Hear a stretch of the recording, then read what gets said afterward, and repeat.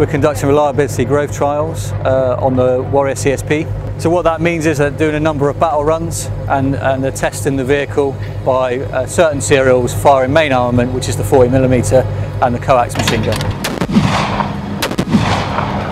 The key upgrades is basically the turret. The turret is completely changed. So inside there you've got um, the 40mm cannon and that has capability of firing a number of different ammunition natures, including uh, armour piercing, uh, HE and HE airburst.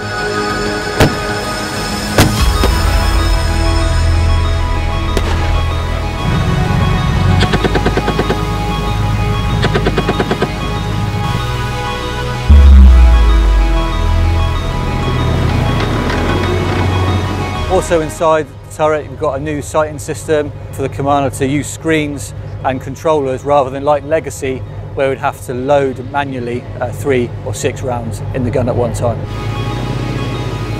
If you compare the, the two for the Legacy and this one, this is just absolute, uh, absolute game changer in what we've had before. Now with this stabilised platform, you can fire on the move as well, keeping the image inside for the gunner absolutely still, even though the vehicle is travelling at speed over cross country and he can still engage targets with the main armament. The physical burden has been sort of taken away because all the preparation of loading the weapon system has gone. It's a bit like an aircraft, so before the aircraft takes off, all the ammunition and weapons get loaded. That's what the turret is like now, so everything gets done before you leave camp and leaving the commander the ability to look through the sights and, uh, and do what he's there to do.